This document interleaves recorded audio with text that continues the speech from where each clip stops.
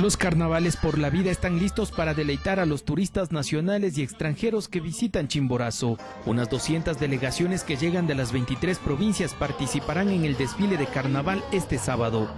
Tanto despliegue de colorido atrajo a más de 160 mil turistas el año anterior. Esperamos que este año ojalá que superemos ese, esa cifra que está previsto eh, en estos carnavales Chimborazo 2014. Esta fiesta coincide con el Pauca Raimi, celebración indígena conocida como fiesta de los granos tiernos y las flores nacientes. Aquí, antes de entrar a sus tierras, los ancestros se purificaban con agua. Quizás desde entonces el mojarse se convirtió en una tradición pues el Carnaval por la Vida, como ustedes conocen, no tiene otro objetivo que rescatar los principios ancestrales para unirnos en un esfuerzo de trabajo. Hoy las autoridades vigilan que las costumbres se cumplan, pero sin agresiones. Eh, les pido la mayor de la mayor de las corduras durante estas festividades y evitar todo tipo de excesos.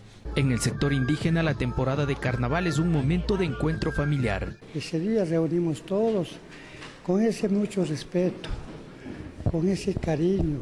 En carnaval se lo puede disfrutar en los 10 cantones de Chimborazo, con una particularidad, que en poblaciones como Colta y Guamote, esta fiesta conserva las costumbres indígenas. Desde Chimborazo, Gonzalo Parra, Ecuador TV.